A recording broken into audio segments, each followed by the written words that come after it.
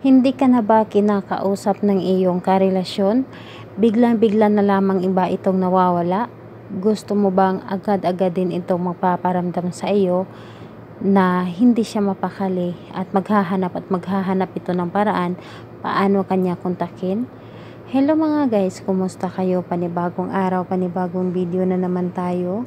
And sa araw na ito ay isa na namang video ang aking ituturo sa inyo na simpleng gabay o simpleng pamamaraan na makakatulong sa atin. At bago ang lahat, gusto ko lang mag-disclaimer sa mga taong hindi naniniwala at hindi gusto ang mga kagaya nitong video. Please skip this video and maghanap kayo ng videos na gustong gusto nyo.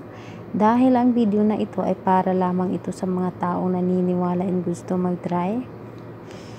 At ngayon ituturo ko sa inyo kung ikaw ay isa sa mga partner na kung saan bigla-bigla na lamang nawawala ang iyong partner na parang bula.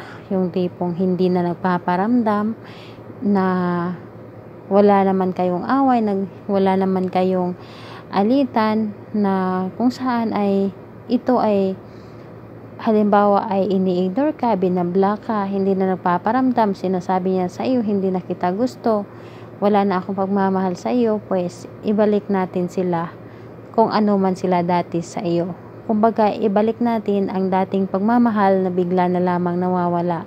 Yung hindi na kayo nagkakaintindihan, nanglalamig na siya sa iyo. So, ito ang gagawin mo kung ang partner mo ay nanglalamig na. So, maraming solusyon dyan at madali lang siyang uh, solusyonan na kung saan hindi ka na mahihirapan pa. So, sa mga ganitong sitwasyon, dapat ay wag tayo mag-alala. Bagkos ay humanap tayo ng pamamaraan. Paano natin ibalik or paano natin paibigin muli o ibalik ang dating pagmamahal ng iyong partner na kung saan nawawala na ang dati niyang pagmamahal sa iyo. So, sobrang napakadali lang itong gawin, ang ritual na ito, and ayun, hindi ka na rin maha, mahihirapan pa na humanap ng ng materyales sa paggawa natin dito. At ayun, pwede rin itong gawin sa babae to babae and lalaki to lalaki. Pwede rin ito sa magkalapit at pagka-LDR. So, ang gagawin or ang materialis lamang na ating kakailanganin dito is kailangan lang natin dito ng pulang panulat papel, buong papel para yung malaking papel, kahit anong klaseng papel ay pwede, basta malaking papel at isang dahon ng laurel at kailangan natin dito ng lighter or di kaya'y kandila kung meron kang kandila. Pero kung wala ay lighter na lamang or di kaya'y posporo. So ganito ang ating gagawin. Kailangan mong maghanda or mag-focus sa iyong gagawin upang mabilis mong mapagana ang ritual kailangan mo mag-focus na kung saan gagawa ka ng isang ritual na wala ka dapat na pagdududa. Yung tipong alam mo sa iyong sarili na itong ritual na ito ay makakatulong sa iyo. So, ayun, ganito ang gagawin natin. Una,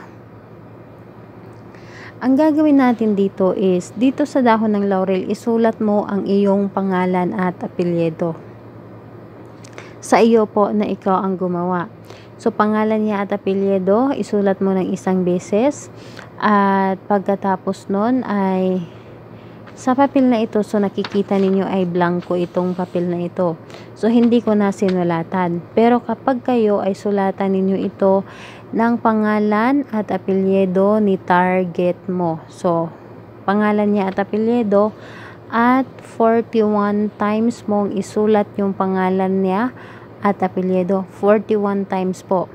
So, kung hindi siya magkasya dito, pwede mo siyang isulat dito sa likod.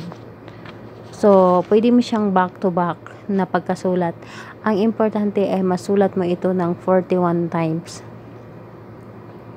So, ayun, 41 times po. And pagkatapos nun, kapag nasulat mo na yung 41 times, ang gagawin mo, so dito sa una mong isinulat, so dito yung harapan and dito sa likod.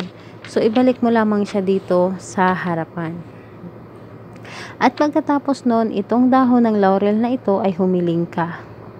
So, humiling ka dito. And again po lang panulat po ang ating gagamitin sa pagsulat. And dito sa dahon ng laurel is pangalan mo at apelyido na ikaw ang gumawa. So, ganito ang ating gagawin. Kapag kapag natapos na dito yung pangalan niya at apelyido ni target, humiling ka dito sa dahon ng laurel. Hilingin mo na dito lahat-lahat. Hilingin mo na sa pamamagitan nito, tulungan ka na ang taong ito ay bumalik ang dati niyang pagmamahal sa iyo, ibalik ang init ng pagmamahal. Hindi ka na niya baliwalain or ibalik yung dati niyang pagmamahal sa iyo at hindi hindi na ito manglalamig sa iyo at magpaparamdam ito sa ayaw man o sa gusto niya. Magpaparamdam at magpaparamdam ang taong ito sa iyo. Hilingin mo lang galing sa iyong puso na yung kahilingan mo is galing talaga or buo talaga yung uh, mga kahilingan mo. And and ayun hilingin mo lang dito na galing talaga sa iyong puso and buo yung kailangan na uh, wala ka rin galit sa iyong target. And pagkatapos nung humiling ka dito sa dahon ng laurel, ang gagawin mo, kuha, kumuha ka ng lighter or di kaya kandila ang iyong gamitin kung meron ka. Pero kung wala kang kandila is gumamit ka na lamang ng lighter. At sunugin mo ito at yung abo niya ay ilagay mo dito sa papel. Ilagay mo ito dito sa papel and pagkatapos nun, ay tupiin mo lang siya. Tupiin mo lamang siya kung nandito na yung abo ng laurel. Tupiin mo lamang siya kung baga ibilot mo lamang yung abo. And ayun, huwag mong hayaan na matapon yung abo.